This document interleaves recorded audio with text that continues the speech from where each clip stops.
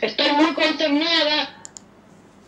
Estoy mal por esta situación, por este conflicto agropecuario que no se soluciona, porque no hay voluntad, pero no voluntad por parte del gobierno que sobra, sino por esta gente que no tiene consideración por el pueblo argentino.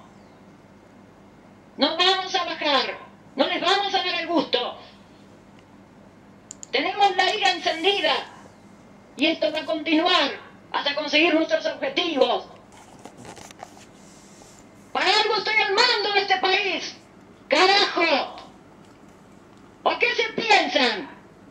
¿Que los votos que fueron robados o qué? Mientras yo esté a cargo de la presidencia de este país, la corrupción seguirá en aumento, señores. Cada vez habrá más adictos, más ladrones y más pobreza. Se los puedo garantizar yo, Cristina Fernández, presidenta de la Nación Argentina. Joder,